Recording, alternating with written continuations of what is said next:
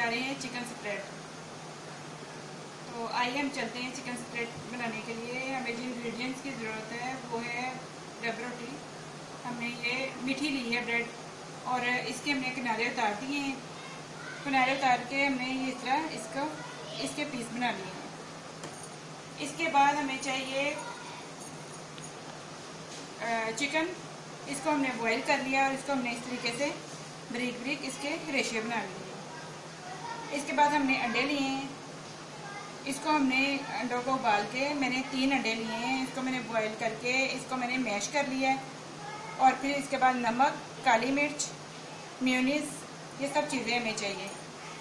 अब हम अंडों को जो हमने मैश किया है, इसके अंदर हमने ये फ़ूड कलर डाल देना येलो फ़ूड कलर ये हम इसके अंदर डाल देंगे। इससे इसका रंग बहुत अच्छा आएगा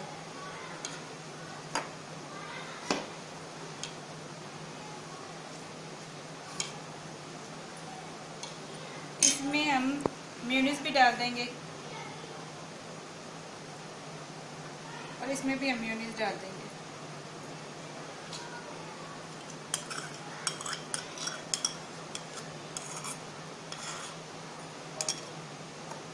इसमें हम थोड़ी सी काली मिर्च, इसमें भी थोड़ी सी काली मिर्च,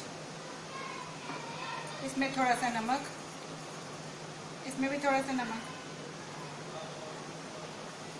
और इसको हम अच्छी तरह से मिक्स कर लेंगे।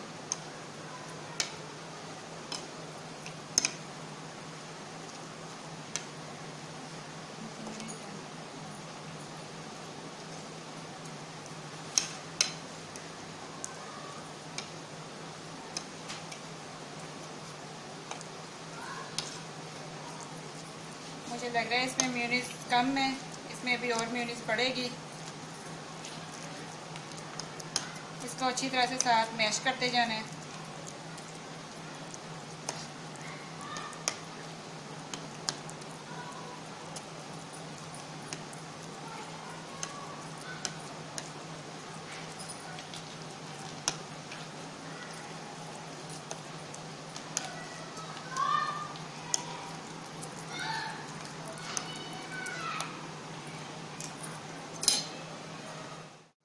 अब ये चिकन है। इसको भी हम अच्छी तरह मिक्स कर लेंगे।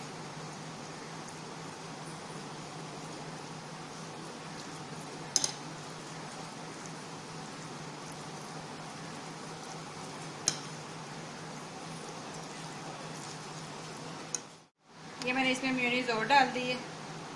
इसमें भी मैंने म्यूनीज और डाल दी है। म्यूनीज मुझे कम लग रही थी तो मैंने इसमें और डाल दी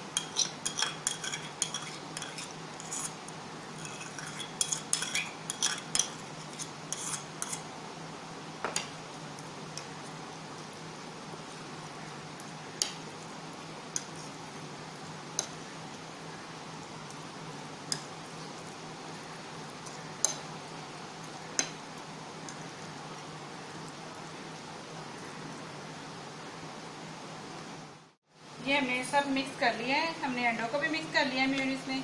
इसमें मुझे म्यूनीस और नमक, काली मिर्च कम लग रही थी। मैंने इसके अंदर और डाली थी। आप भी अपने टेस्ट के हिसाब से जितना डालना चाहती हैं, डाल सकती हैं। इसमें भी मैंने नमक, काली मिर्च और डाला था। म्यूनीस और डाली थी। आप भी चेक कर लेना। जितना आप इसको रखना चाहती हैं, सही उतना कर लेना। अब हम ये स्लाइस लेंगे।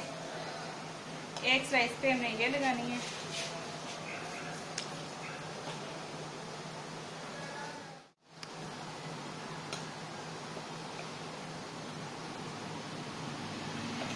एक स्लाइस पे हमने ये लगाया है।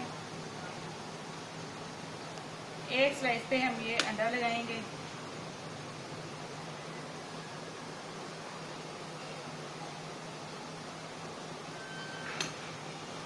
इस तरीके से हम इसके ऊपर रखेंगे। ये एक स्लाइस हमने इसके ऊपर रखा है और ये एक स्लाइस हम इसके ऊपर ऐसे रख देंगे।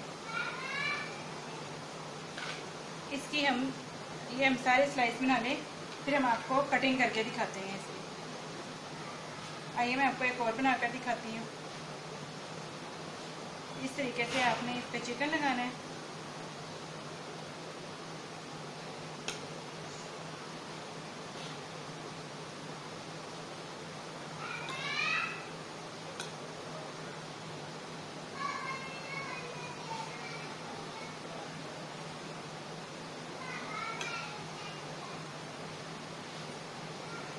तरीके से हमने पेंडा लगाना है।